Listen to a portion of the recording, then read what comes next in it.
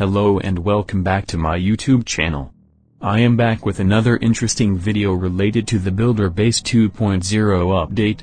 Today we are going to talk about the new Builder Hall troop that we are going to get in the next Builder Base update.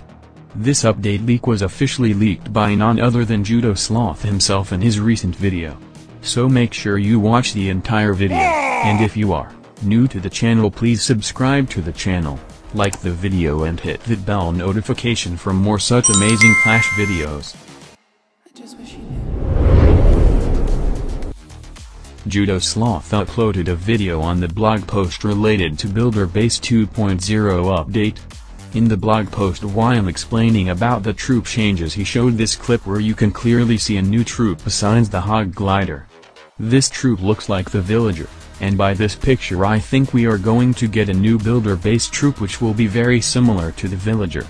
Second if you check out, the first blog post uploaded by Supercell where they have revealed that Builder Base 6 and above are going to have two Builder Base villages.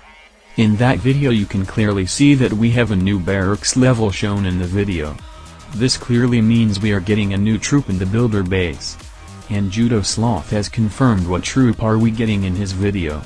Let me know in the comments section what do you think about the new troop and how excited are you for the new update? If you enjoyed the small update leak video please subscribe to the channel as we are very close to 3000 subscribers. If you enjoyed the video like the video and share it with your friend until then see you in the next video.